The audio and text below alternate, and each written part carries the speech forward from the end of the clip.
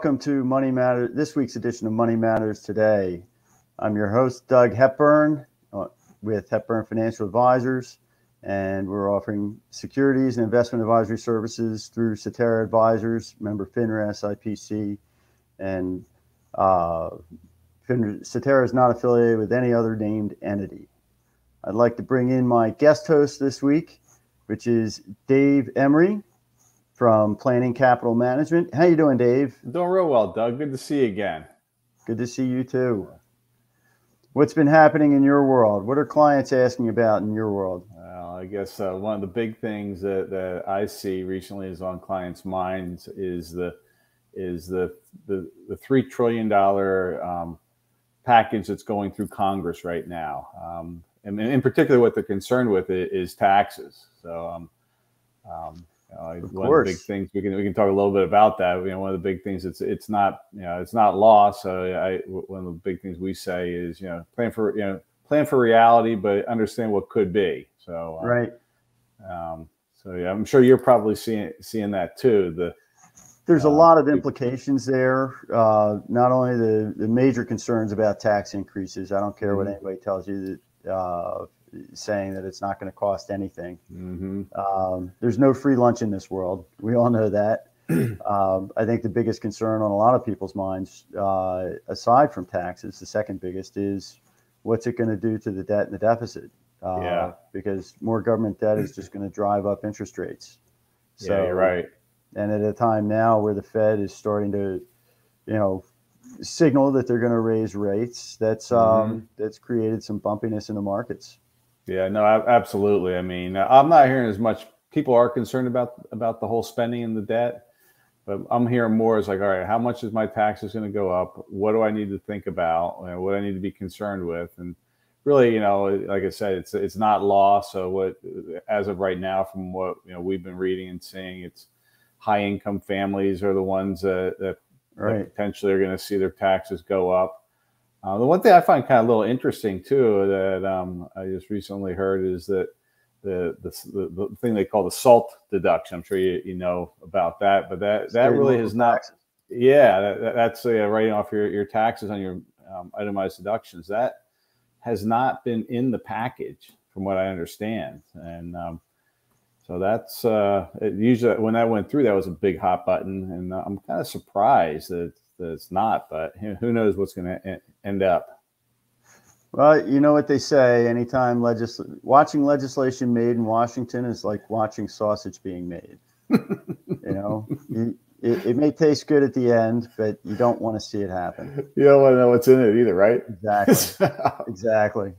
But um, so yeah, yeah we're, you know, I guess that's one of the things we've heard. And the, the other thing um, on people's minds on the taxes is on the estate planning side of things too. Um, oh yeah, the the, uh, the you know what's right now going you know in Congress is reducing the estate tax threshold from like 11.7 million down to five point something infl- you know, increase yep. with inflation. So that's that's also been a pretty big hot button too. Um, you know, people saying, "Well, should I gift money away now?" and like I said earlier, I mean, it's one of those things you got to plan for reality. I mean, just understand yeah. what, what could ha- happen, and you need to be nimble to make make some changes if you need to. Yeah, well, you know, as as I always tell clients, you know, if you if you want to gift money now, just make sure you can afford it. Yep, it's, makes sense. But it's money that you don't need. Yep. Because you you got to know once you give it away, you can't get it back. That's right. That's right. It's a, it's a one way street kind of. It's usually pretty tough. Exactly. Yeah. Yeah. yeah. So. Well, the, the low interest rate environment has actually created a lot of opportunity for, mm-hmm. for those people who are business owners, not only yeah. from planning perspective, because they can do some of the more uh, um, advanced techniques like GRATs mm-hmm. or CRUTs, right. you know, grantor mm-hmm. retained mm-hmm. annuity trusts right. or, or, charitable remainder trusts.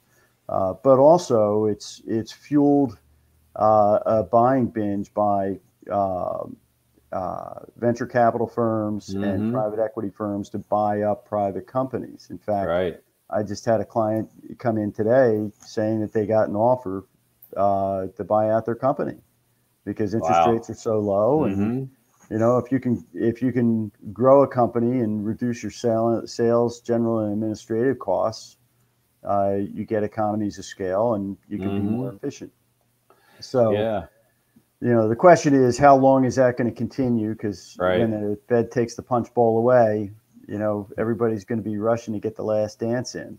That's right. Yeah, absolutely. I mean, you know, I think uh, kind of your point about inflation. I mean, yeah, it, it's yeah, you hear on economists say, is it is it just temporary or not? I mean, right. Um, you know, a lot of people think it's it's it's going to be temporary. I'm not quite sure I'm in that camp, um, but uh, uh, I think the other, other thing too is that inflation has been so low for so long of a time period that having any inflation, people are quite alarmed about it. I mean, you know, if you look back over time, over over history, you know, what we have, the inflation we have today is is relatively, you know, it's it's certainly not like what it was in the late '70s, early '80s. Um, right. So it's it's it's it's more than it used to be, but it's it's nothing, you know, outrageous.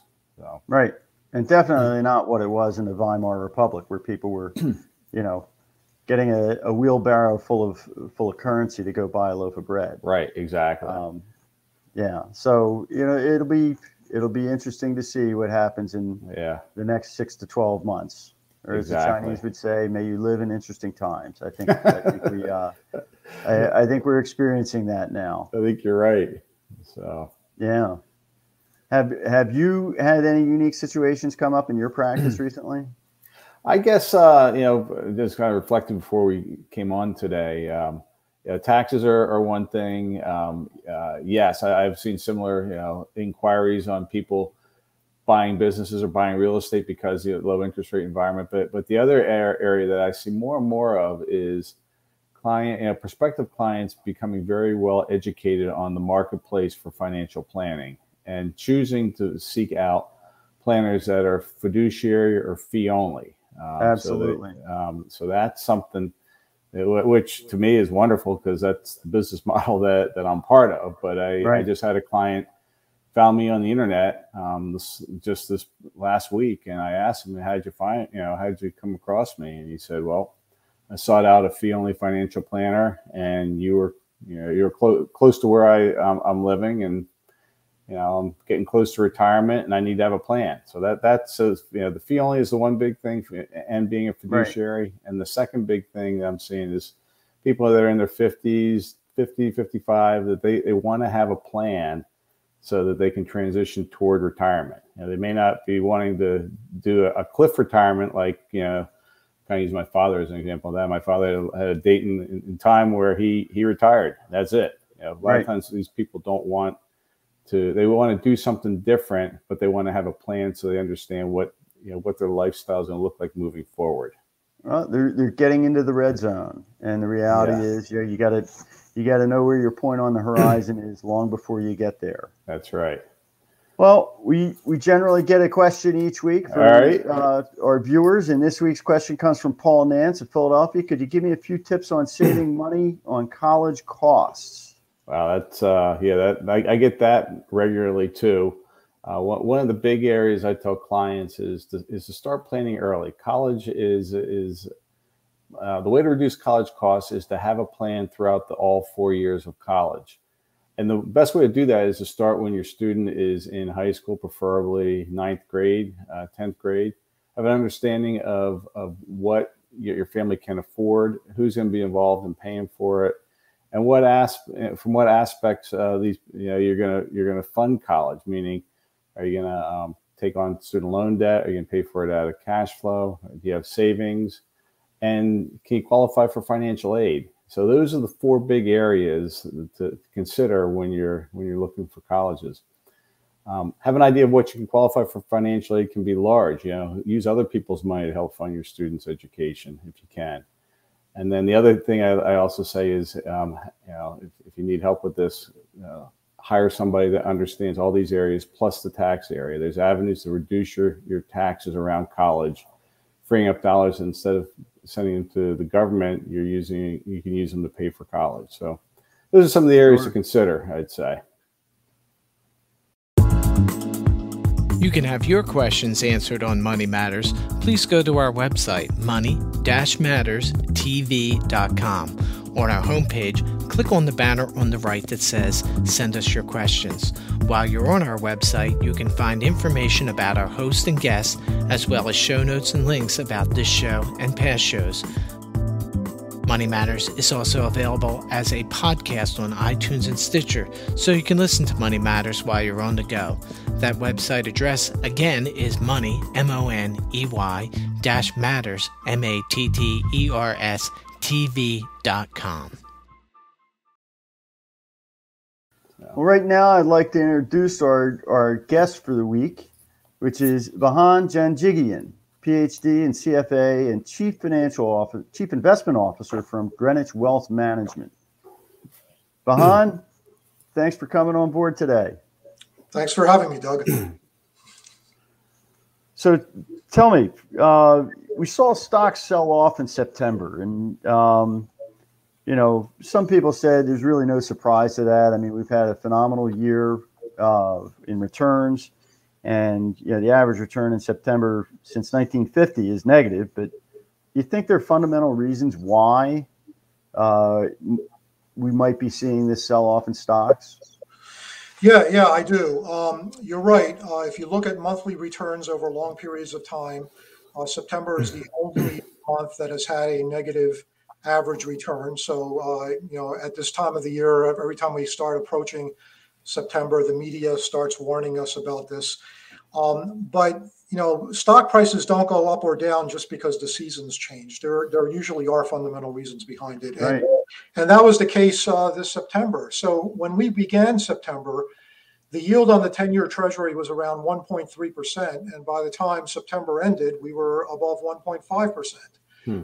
And generally speaking, when interest rates are rising, even though they're still, you know, historically very low, when interest rates are rising, that's usually not a good thing for stocks. But but there were other things that happened too in September.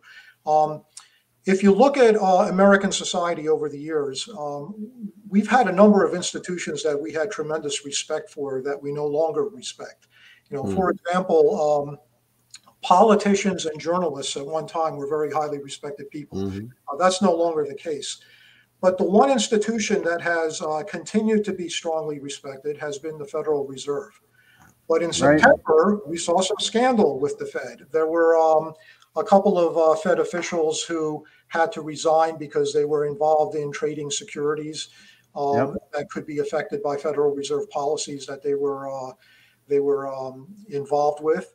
Uh, we've since You're kidding heard, me. There's gambling in Rick's Cafe.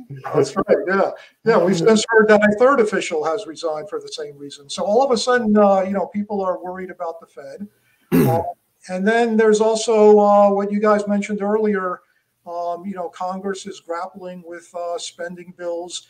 Uh, mm-hmm. Democrats are fighting with Republicans. Progressive Democrats fighting with moderate Democrats. Um, the government seems to be becoming increasingly dysfunctional, and uh, this does not give investors a whole lot of uh, confidence. And so, I think all of these things contributed to the recent weakness in the markets. Yeah. Perhaps maybe that has to, something to do with the fact that the uh, the fiscal year end for the government is always September 30th, and Congress, in its infinite wisdom, waits till the last minute to do any kind of budget uh, uh, budget bills, right. and tries to sock everything together in one omnibus budget or a reconciliation bill, yes. just so that they can can put ornaments on the Christmas tree. Yeah, not not to mention the debt ceiling, which is always a, a problem. Exactly. That's yeah, another thing exactly. right now. So, uh, so, so, why is inter- our interest rates usually bad for stocks, stock well, valuations? You know, yeah, there are two reasons for that. Um, first of all, you can think of asset classes as constantly competing with one another. So, you know, the two uh, major asset classes are stocks and bonds. Mm-hmm. Um, when interest rates are high, you know, people ask themselves, well, why should I take the risk of being in the stock market? Mm-hmm. If I mm-hmm. can get, let's say, 10% uh, per year with government bonds, why should I take mm-hmm. the risk of buying stocks? When interest rates are very low, uh, stocks become much more attractive. Mm-hmm. So, so when interest rates start rising, stocks become relatively less attractive, even when rates are mm-hmm. low. But the other big reason is that when you look at valuation analysis, uh, you know, theoretically, the value of any asset is simply the present value of the future expected cash flows. So when interest right. rates are rising, that present value is decreasing. So if you hold everything else constant, mm-hmm. um, you would expect stocks to be worth less. You would expect any asset to be worth less as interest rates rise. So, is there any any stocks in particular that do worse? I mean, growth value. And any comments around that? Yeah, exactly. You know, we've gone through a long period of time where growth stocks have outperformed value stocks, mm-hmm. and if you notice, during that same period of time, interest rates were falling. Um, mm-hmm. Rising interest rates are worse for growth growth stocks than they are for value stocks because um, growth companies are companies that are expected to have their future cash flows occur in the distant future, whereas value stocks, their future cash flows are more likely to occur in the near future. So the further out in the future those cash flows are, the less valuable they become as interest rates increase. Isn't it also true that you know with uh, value stocks, which are generally dividend-paying stocks, mm-hmm. you know if you if you're paying a dividend of two or three percent, uh, that to to get that kind of yield on a on a bond, you got to go out 20, 30 years. Yeah, that's right. right. That's right. Yeah, but again, uh, you can think of dividends as being another form of cash flow. So, so yeah. uh, we mm-hmm. typically think of a discounted cash flow analysis uh, when we're valuing stocks, and dividends are a piece of those cash flows. So if a, if a company is paying a lot of dividends, those cash flows are occurring earlier, and therefore they're more valuable. Makes a lot of sense to me. Yeah. I know one of the issues that that we talked about earlier, and it keeps coming up in conversations, is the threat of inflation. Um, I mean, we we were told that uh, just because of these supply chain shocks, the disruptions that oh it's going to be transitory inflation's not going to not going to be here forever um, but now people are starting to think well maybe inflation is here to stay and there's even fears that we could be seeing 1979 1980 again what are your thoughts on that Vahan well, I, I, I, actually think the Fed is right when they say that um, inflation is is transitory because you, you really have to understand what the Fed means by transitory. We've gone through a long period of time when inflation was very low, but we had inflation. Um, inflation right. is simply a measure of the rate of change in prices. Now, all of a sudden, the rate of inflation has gone up. We're running currently around 6%. Um, so, if we go from 2% to 6% and then back to 2%, prices continue to rise, but inflation was transitory. So right. uh, I hear a lot of people say that um, you know, it's not going to be transitory because the prices are not going to go back down. The companies are not going to take back the wage increases. We're going to have to live with all that. but, but that's not the same thing because if prices went back down, then we're not talking about inflation. We're talking about, we're talking deflation. about deflation. Right. Yeah. So I think what's going to happen is that as the supply chain constraints are addressed, you know, we've got serious supply chain constraints right now with, you know, semiconductors, which are affecting all kinds of products. We've got ports that are, you know, backed up. As those constraints are addressed and things start getting back to normal, I think the rate of inflation will come down, but prices will continue to go up, but simply at a lower rate. I guess the, the one thing to consider here is that, you know, uh, a little bit of inflation is probably a good thing because the alternative is deflation, right. which is really people not spending money expecting prices to be lower next week. That's and exactly so, what happens. Yeah. And and once you get into a deflationary spiral, the economy just grinds to a halt. We saw that back in the Great Depression. Right. Yeah. So and then I don't think anybody wants to relive that. No, yeah. but even even a few years ago, um, you know, people were putting off buying things like cars because right. they expected next year's model to be better and at the same price or maybe even a little less. Mm-hmm. Now all of a sudden, everybody wants to buy cars. Uh, there's no problem with demand. It's just that you can't you can't get the cars. They're not there's no supply. yeah. Even even used cars are, are going at surprisingly high prices, and we're not talking, um, you know, auctions for for classic cars. That's right. Exactly. We're talking just regular regular everyday models out there. So, uh, so, so you talked about inflation and deflation, but what about stagflation? Um, you talk a little bit about that. Yeah, there's a there's a lot of concern about stagflation right now. Stagflation refers to the situation where you have inflation combined with slowing growth. Uh, mm. Oftentimes, you also have rising unemployment, um, and we and we certainly seem to be in that kind of condition right now. Um, in fact, if you look at uh, growth forecasts, you know we knew we were going to have a huge rebound after the pandemic, um, mm-hmm. and then we expected things to start normalizing. But um, the Federal Reserve Bank of Atlanta, which often puts out growth forecasts, they started off uh, forecasting more than six six percent growth for the, mm. the, third quarter, and they've since decreased that to only 1.3 percent. So now we're in a situation where growth certainly seems to be slowing, um, while we have pretty strong inflation. Um, again, that's not something I'm really that concerned about because I do believe that all of this is being caused by the supply constraints. Mm-hmm. I mean, mm-hmm. everywhere I look, I see that demand is very strong. And once companies are able to satisfy the demand, I think growth will resume mm-hmm. and inflation will come back down. Okay. Um, Interesting. So, is there, is there anything in particular the, the investors should think about regarding stagflation, you know, regarding stocks or investments in general? Yeah, well, stagflation is a really uh, bad situation. Um, if you do believe that uh, we are going to be in a period of prolonged stagflation, you probably would want to reduce your exposure to equities uh, significantly. Um, and I think some of the volatility that we've been seeing in the market right now is just a reflection of investors trying to mm-hmm. uh, make decisions about this. Mm-hmm. Makes sense. Now, Vahan, I know a lot of uh, professional inve- investment professionals have different ways of looking at stocks. You have technical analysts, you have fundamental analysts, and as two broad categories. How do you look at uh, and evaluate stocks that you hold for your client portfolios? Okay, yeah, um, it's a good question. Um, I am a fundamentalist because I'm primarily a long-term investor. I think technical analysis uh, can be very useful for short-term investors.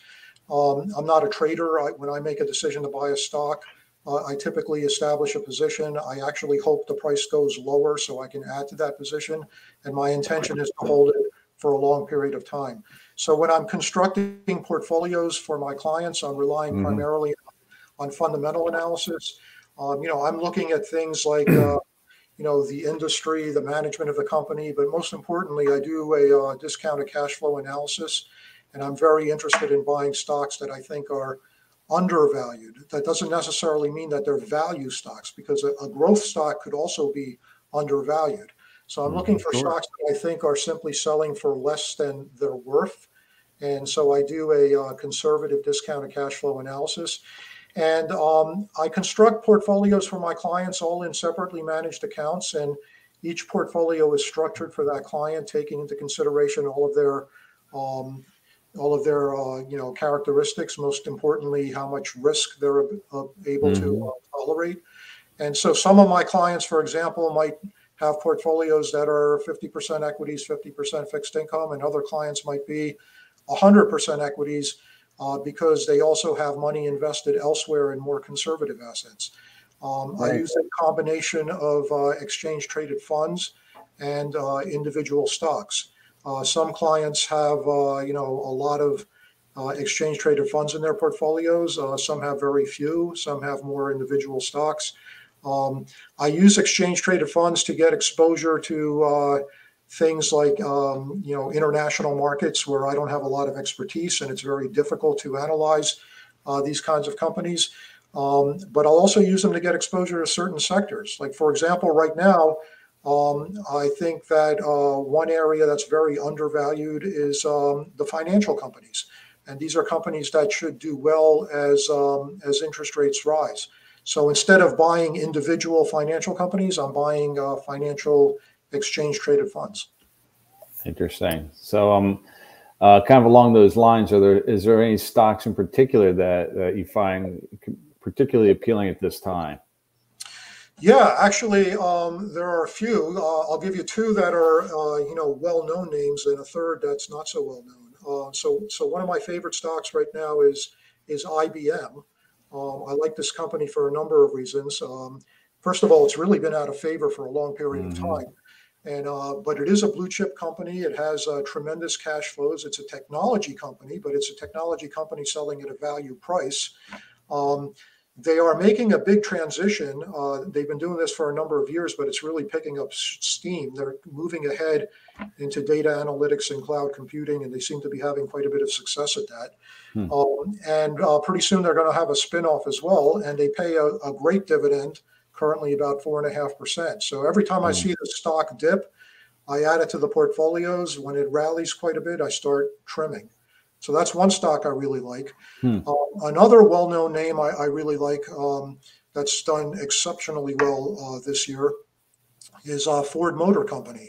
Um, I think people have really underestimated Ford's ability to move into the electric vehicle business. Um, they are having these supply chain constraints that we discussed earlier, um, but they're coming out with an electric pickup truck, the Lightning, and uh, they're having trouble building it, but uh, They've got over 150,000 reservations for this truck, and it's going to sell for probably $70,000 a piece. Wow. They're going to do uh, quite well with that, and the stock has really responded. And I still think it's undervalued. Ford, by the way, used to pay a great dividend. They've suspended that dividend, but I would expect that once they start selling these trucks, the dividend's going to come back. And then a third stock that I really like is in the energy business. That's another area that's really been out of favor and uh, became very undervalued. Uh, this is called Murphy Oil. It's a um, it's an exploration and production company, um, and their stock price is correlated with the price of oil. And as we've seen oil prices go up, their stock price has gone up quite a bit too. Uh, even though the stock's currently up probably about 120% year to date, hmm. um, I still think it is undervalued at current prices. Thank you. That sounds great. Yeah, very very interesting. You've obviously done your homework, Vahan, uh, and and we appreciate that. We recommend that all uh, all viewers do their homework, talk to their investment advisors, your tax advisors, and your legal advisors, and make sure that you get uh, the best advice you possibly can, even from multiple sources of uh, of information before you make a decision. Um, now, Vahan, I I hear a rumor that you're also a, a, a, track and field aficionado. Is that true? Yeah, yeah, that's true. Uh, I ran track for many years myself, and my uh, my daughter is currently a runner at MIT. So yeah, track's that's great. Fantastic. So, so who was who was the the best track athlete of the Tokyo Olympics? Um, well, the best athlete, in my opinion, was a young lady by the name of A Athing Mu. Uh, she won the uh, 800 meters, uh, got the gold medal, broke the American record, also anchored the uh, women's 4x4 for another gold medal. And uh, I'm a little bit biased because when my daughter was in high school, she actually ran against this young lady. So uh, we've got some pictures of them running together in a race, and that's uh, that was very exciting for us. That's great. Oh, okay. So are, is is that one of your investments that you're hoping will if, I, if I could invest in track and field, I would. well, maybe the photograph. yeah, well, that's true. Hopefully, it'll be worth something. Yeah, you, you could get it signed. yeah. There you go.